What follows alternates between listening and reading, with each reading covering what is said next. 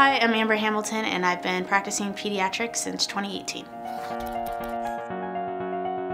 What I love about being a pediatrician is really getting to take care of the kids, watching them grow to their full potential, getting to take care of multiple kids in the same families, building relationships with families, and really there's nothing better than a six month old with fat thighs and a gummy, drooly smile.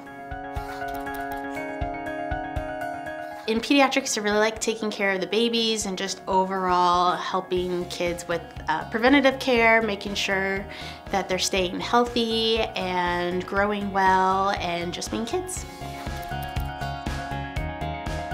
So I'm originally from Long Beach, California, so I'm back close to being home. I've spent the past seven winters in St. Louis, so I'm glad to enjoying uh, first California winter back.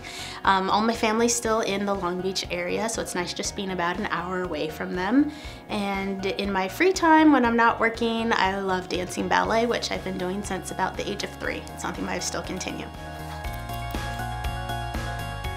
In my free time, I love going to Disneyland, which is nice being back close, so going there. I also love seeing Broadway shows, and I'd say one of my favorites is my namesake, Hamilton, which I got to see last year in St. Louis, and I've been enjoying seeing shows out here in the ballets. American Ballet Theater's come out a couple times, and so I like going, seeing shows, dancing, and going to Disneyland. Who doesn't love Mickey Mouse?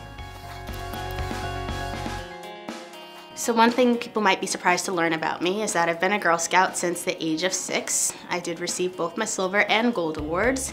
And after upon graduating high school, I became a lifetime member. So been still going with Girl Scouts. Although I don't sell cookies anymore, I still buy them.